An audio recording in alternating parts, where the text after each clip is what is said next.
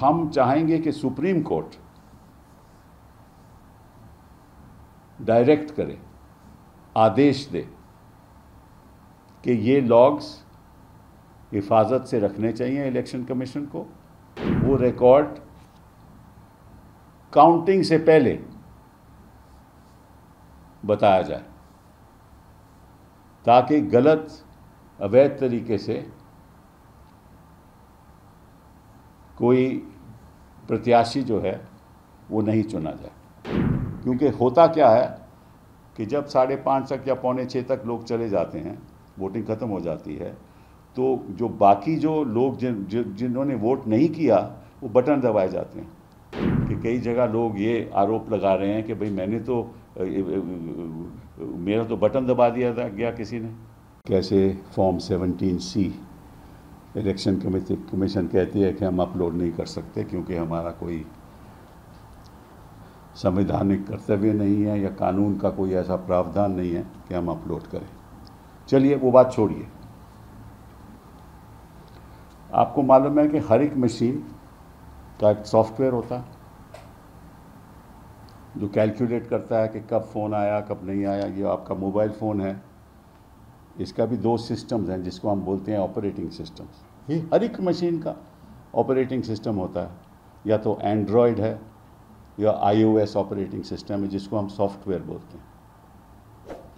अगर आपका personal computer है तो जो विंडो है वो आपका ऑपरेटिंग सिस्टम है। तो हर मशीन का एक ऑपरेटिंग सिस्टम होता है। वो ऑपरेटिंग सिस्टम सॉफ्टवेयर क्या करता है? सारी एक्टिविटीज़ मशीन की वो रिकॉर्ड करता है। मोबाइल फ़ोन की सारी एक्टिविटी, इसीलिए जो इन्वेस्टिगेटिंग ऑफिसर है, वो मोबाइल फ़ोन ले लेता है।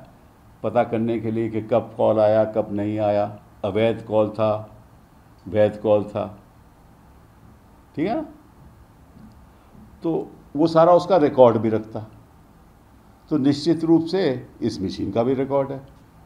ये तो है नहीं कि इस मशीन का कोई रिकॉर्ड नहीं, हर एक मशीन का रिकॉर्ड होता है। इसको बोलते हैं एक्टिविटीज़ लॉग्स लॉग होता है। आपके मोबाइल फ़ोन में लॉग क्या है, किस टाइम कॉल आया, वो सब लॉग लॉग्ड है। जैसे आपका, आप, हम अस्पताल में जाएँ तो एमआरआई होता है ना तो एमआरआई सब लॉग होता है, वो भी मशीन है। तो ये लॉग को हिफाजत से रखना चाहिए। ये लॉग से पता चल जाएगा किस किस्म वोटिंग ख़त्म हुई? किस वक्त वोटिंग ख़त्म हुई? क्या वोट वैध थे या अवैध थे? ये भी पता चल जाएगा। और ये बताएँगे कि किस टाइम कब वोटिंग हुई? अगर छः बजे वोटिंग बंद होती है तो कैसे वहाँ वोटिंग हुई पाँच से छः बजे तक? तो ऐसे ही हर एक साइबर क्राइम ऐसे ही डिटेक्ट करते हैं लोग कि कौन सी धांधलेबाजी हो रही है, कैसे हो रही है। तो ये एक मैं समझता हूँ कि एविडेंस है। जो हिफाजत से रखनी चाहिए। इलेक्शन कमीशन तीस दिन के लिए ये डेटा रखते हैं। तीस दिन के बाद गायब हो जाएगा। क्रूशल डेटा है तो हमें, हम आग्रह करते हैं कि इलेक्शन कमीशन, आग्रह क्या? ये इनकी ज़िम्मेदारी है क्योंकि हम आरोप लगा रहे हैं कि आप 17 सी फॉर्म आप अपलोड करते नहीं। ये बताते नहीं कि कितनी वोटें डाली गई, उनकी संख्या क्या थी। और जब काउंटिंग होगी तो उस समय आप काउंट करके तो आप नतीजा डिक्लेयर कर दोगे, कौन जीता, कौन हारा। उस समय तो कोई कुछ कर नहीं सकता ना। फिर तो इलेक्शन कमीशन फ़ाइल करनी पड़ेगी। तब तक पार्लियामेंट के नतीजे आ जाएँगे, सरकार बन जाएगी तो उसका क्या फ़ायदा?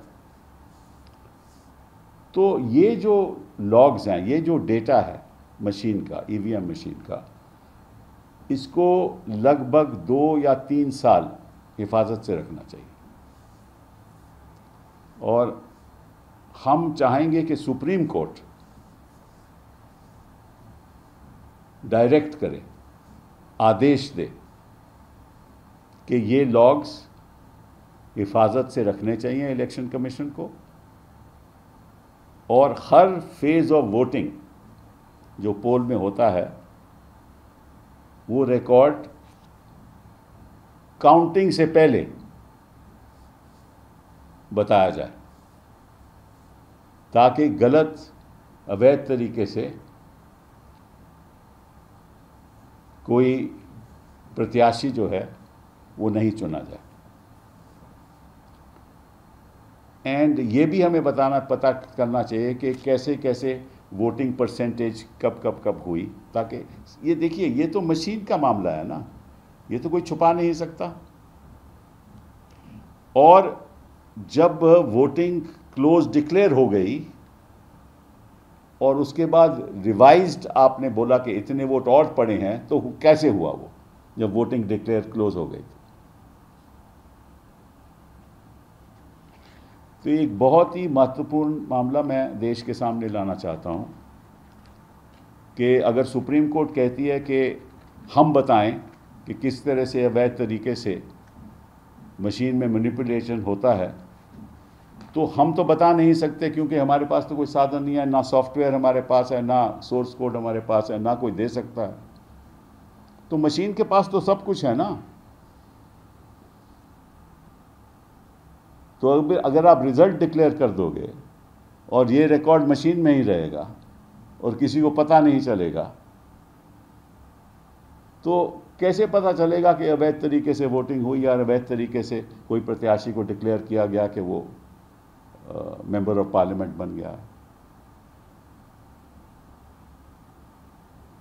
ये एक बहुत ही अहम सवाल हम उठा रहे हैं और इसमें कोई झिझक नहीं होनी चाहिए इलेक्शन कमीशन को। ये डेटा देने का और काउंटिंग के पहले ये बताने का कि ये कब वोटिंग ख़त्म हुई और किस तरह से ख़त्म होने से पहले कितने कैसे वोट पड़े?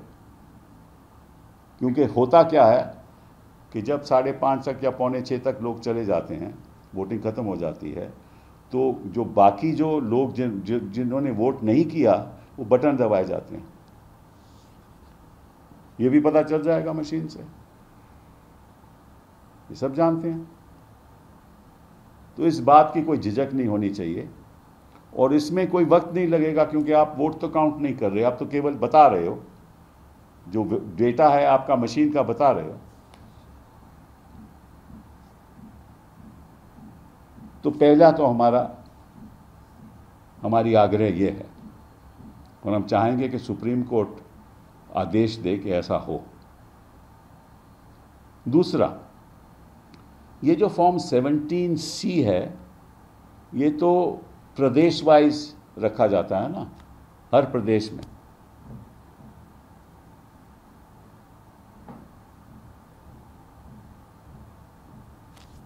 और अगर हर प्रदेश में ये फॉर्म 17 सी रखा जाता है, कि फिर सेंट्रल इलेक्शन कमीशन को ये कहना चाहिए कि ये app data upload state level पे कर दें।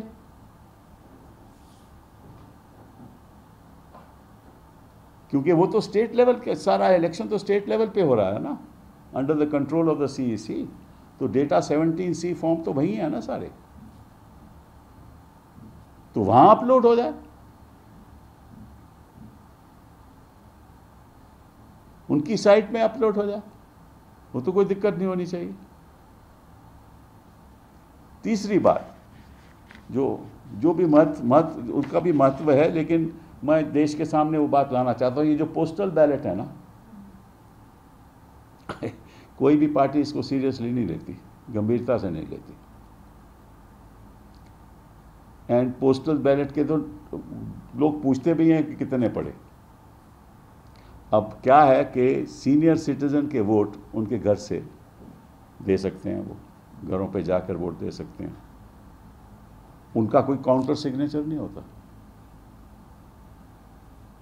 तो मालूम नहीं कितने ऐसे वोट होंगे, कोई पारदर्शिता है ही नहीं।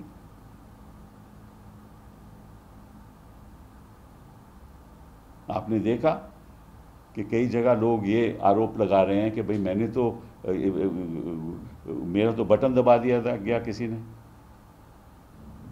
बीजेपी के पक्ष में। तो अगर हमने चुनाव को पारदर्शिता पारदर्शिता के साथ करवाना है और निश्चित रूप से वाकई में जो जीता है उसी उसी को ही जितवाना है। तो ये बातें हमारे सामने, ये बातें कोर्ट के सामने रखनी चाहिए और ये बातें कोर्ट के द्वारा इन पे आदेश होना चाहिए कि आप सारे लॉग्स रखो और काउंटिंग से पहले